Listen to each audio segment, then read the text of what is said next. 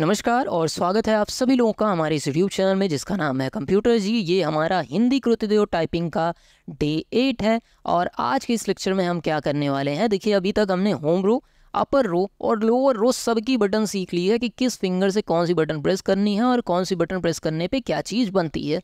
आज के लेक्चर में हम तीनों लाइन के मिक्स वर्ड की प्रैक्टिस करेंगे। मतलब ऐसे शब्द जो तीनों लाइन से मिलकर बने हैं, बहुत ही महत्वपूर्ण लेक्चर होने वाला है।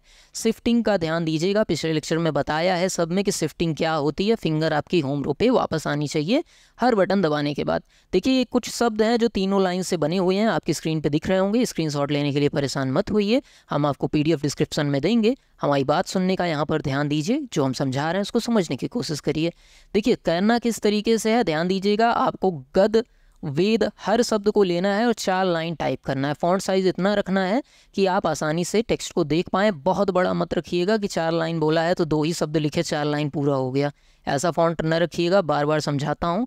फॉन्ट साइज़ इतनी रखिए कि आपको आसानी से दिख जाए। चार लाइन हर शब्द को टाइप करिए।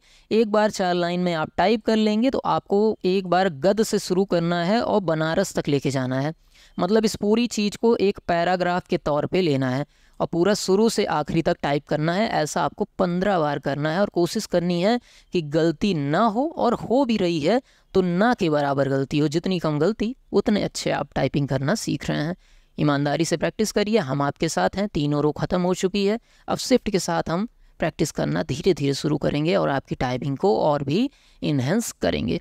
हमारी चीज़ें पसंद आती हो, हमारा चैनल पसंद आता हो, जो कि हम फ्री एजुकेशन कंप्यूटर का पूरा प्रोवाइड कर रहे हैं, आप और भी लेक्चर हमारे देख सकते हैं इंग्लिश टाइपिंग की सीरीज़ भी डिस्क्रिप्शन में मिल जाएगी।